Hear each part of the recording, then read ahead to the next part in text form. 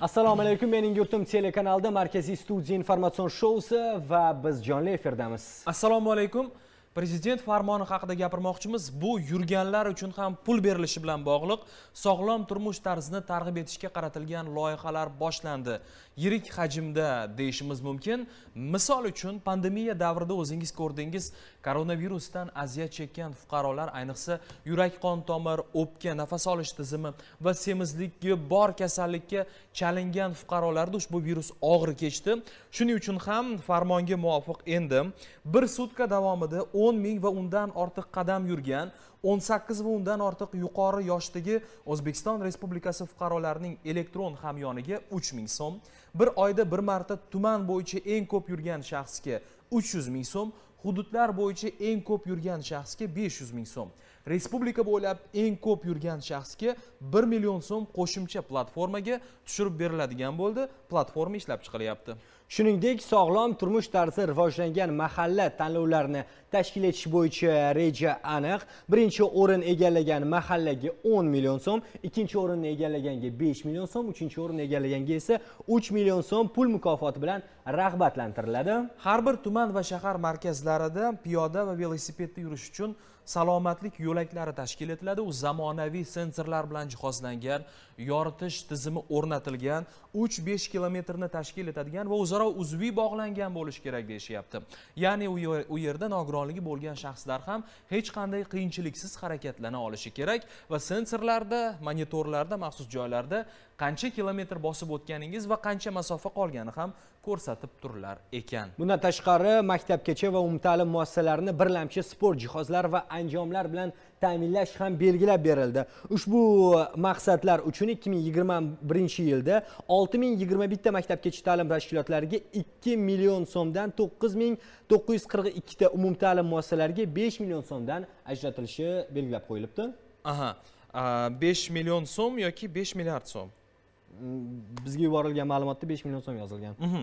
demak bugungi kunga kelib mablag' ajratish kerak bo'lgan sohalar yetarlicha. Misol uchun tabiiy gaz bilan ta'minlanmagan hududlar muammosi ham bugun jiddiyligicha qolyapti. Ayniqsa kuz qish mavsumida salomatlik borasida muammo yuzaga kelmasligi uchun odamlar issiq joylarda yashashi kerak. Senatorlar diqqat markazida tabiiy gaz ayollardan gaz hidi kelyapti deyapti. Ulardan biri. Tezak hidi mhm. Nima qilasizlar? Xalqni gaz bilan ta'minlash uchun ertaga qish kelyapti sovuq kelyapti. Hozir opa aytgandek yosh bolasi bor qariyalar bor chaqaloqlar bor kasallar bor. Nima qilamiz shularda? Issiqlik gaz bilan ta'minlashda. Bu kabi savollar hudud gaz ta'minot va uztransgaz aksiyadorlik jamiyatlari mas'ullariga berildi. Bizni quvurlar sentralniy quvur markaziy quvurlarimiz almashmaganiga o'ttiz qirq yil bo'lyapti. Bu o'ttiz yilgacha nima qildik gazni puli qayerda hozir? Qancha odam gaz to'layaptiyu mib olib borib olib kelyapti to'lamagan odam moshinasigacha olib qo'yyapti to'lamaga u pul qani biz nima qilib beraylik senatorlar qayerda? Qaysi masalangizni ertaga muhokamaga chaqiraylik qaysi vazirlikka chaqiraylik? Bu muammo birinchi marta ko'tarilishi emas. Shu muammo bo'lganligi uchun o'tgan yili parlamentga so'rov kiritilgan. Parlament sizga topshiriq bergan. Shu xavfsizlikni ta'minlaydigan hali ham aytdim qaytaryapman birinchi shaxs respublikada sizsiz. Asosli savol berilyapti. Nima uchun?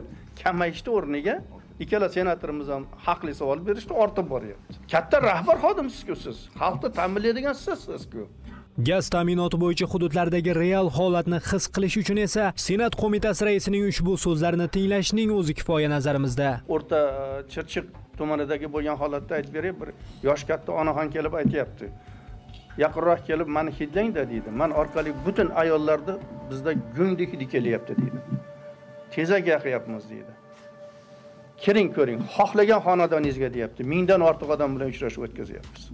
Trubalar bor ilgari bo'lgan gaz. Yo'q murojaat qilsa nima deb javob beryapsizlar hudud gaz? A gaz mabodo uzilib qolsa gaz o'zi umuman yo'q berilmayapti bir necha yildan beri. Suyultirilgan gaz bilan ta'minlaymiz. Yigirma kilogramm norma bor deb turib. O'n ikki kilodan bir marta berib mana hozirga qadar shular yozib yotishibdi. Avtomobillarga gaz quyish shoxobchalariga yetib borayotgan gaz aholiga yetib bormayotgani ham qiziq aslida. Ustiga jaraqlatib gaz sotilyapti zapravkalar bo'lyapti. Mahallada gaz yo'q lekin mahallada zapravka bor. Kelib pulini qilib mazasini qilib yotibdi lekin bu yoqda uch yuz ikki yuzta uch yuzta xonadon yoki uch ming besh ming odam qaltirab kasal bo'lib yotibdi. Hali bu girib sovug'da kuchayadi hali bilib oling. Hali bu ham muammoga aylanadi. Mas'ullar esa ijobiy o'zgarishlar bo'lishiga va'da berishyapti. Hozirgi kunda shu resurs masalasi ozgina sal bizni ham tashvishga solib turibdi lekin e, hamma choralarni ko'ryapmiz har bitta xonadonga kirib chiqishi oldingi qo'ygan e, kamchiliklarimizni hozir bartaraf qilib man o'ylayman e, yuzimizni yorug' qilamiz sizlarni oldida Bu va'dalar qay darajada bajariladi bilmaymiz. Ammo Senatning navbatdagi yalpi majlisiga senatorlar bu sohadagi muammolarga yechim bo'la oladigan takliflar tayyorlashi kutilyapti. Jasur Rahmon, Davron Zufarov, Hojiakbar Bahodirov, Markaziy studiya.